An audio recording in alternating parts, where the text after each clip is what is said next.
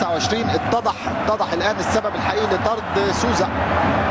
تعمد لمس الكرة باليد في كرة كانوتي ختافي ما زال يتقدم. في لاعب في لاعب واقع على الأرض. آه. آه.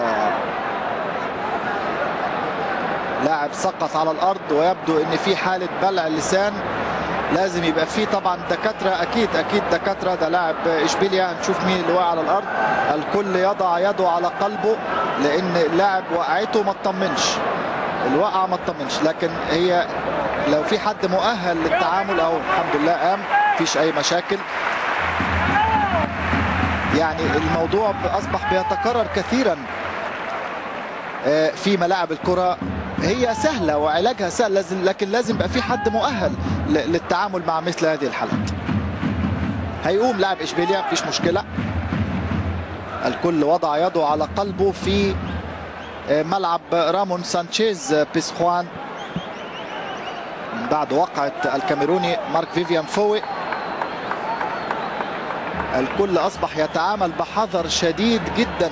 مع سقوط اللاعبين على أرض ملعب حتى الاتحاد الدولي شايفين الطبيب بيشير بالتبديل. يبدو إنه لن يكمل اللقاء. ماشي.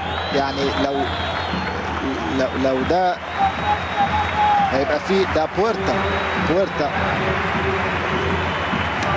بويرتا. سيخرج بويرتا.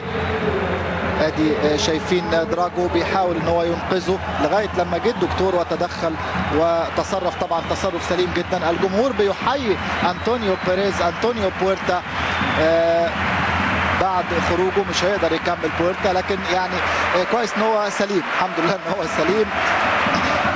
مش مهم المباراة مش مهم النقط مش مهم الدوري كله في مقابل حياة لاعب أو حياة إنسان يعني.